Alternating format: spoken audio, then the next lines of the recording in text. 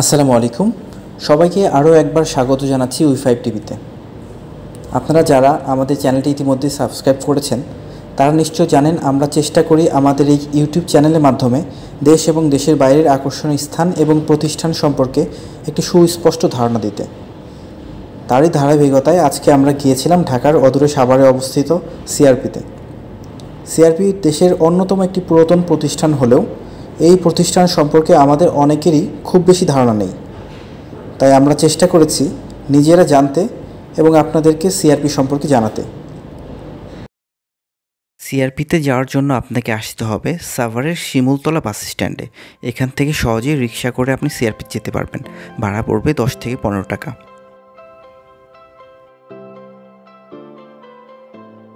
সপ্তাহের শনি থেকে বুধবার সকাল আটটা থেকে বিকাল চারটা এবং বৃহস্পতিবার সকাল আটটা থেকে দুপুর দেড়টা পর্যন্ত এখানে চিকিৎসা সেবা প্রদান করা হয়।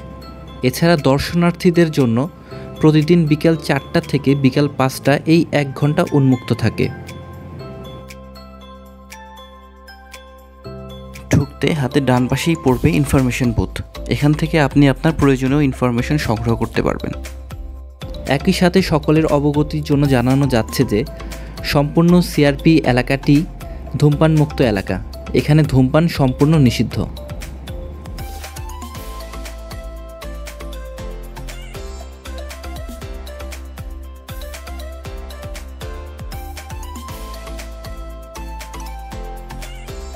একটু সামনে এগোতেই পেয়ে যাবেন রিসিপশন।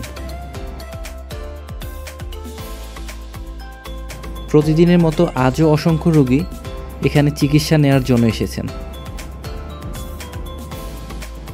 সিআরপি নিয়ে কথা বলতে গেলে একজন মানুষের কথা না বললেই নয়। তিনি হচ্ছেন সিআরপির স্বপ্নদ্রষ্টা ভ্যালরিয়ান টেইলর। তিনি ফিজিওথেরাপিস্ট হিসেবে লন্ডনে কাজ করতেন। পরবর্তীতে তিনি ভারত উপমহাদেশে এসে কাজ করার জন্য মনস্থির করেন।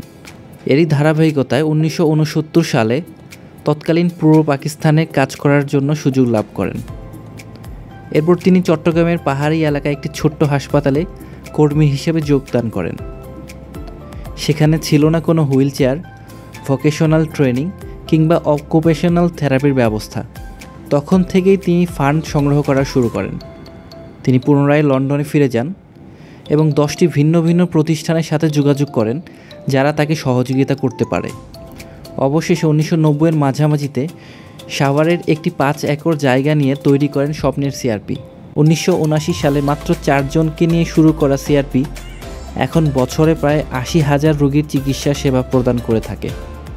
এখানে অভ্যন্তরীণ এবং বহিরাগতদের আর্থিক অবস্থা বিবেচনা করে উপযুক্ত ভর্তুকির মাধ্যমে চিকিৎসা ও পুনর্বাসন সেবা প্রদান করা হয়।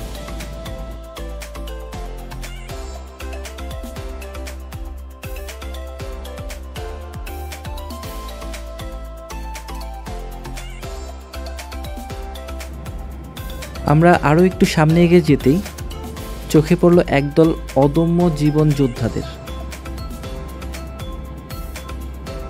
যারা হয়তো চলার শক্তি হারিয়ে ফেলেছে, কিন্তু জীবন যুদ্ধে এখনও হেরে যায়নি।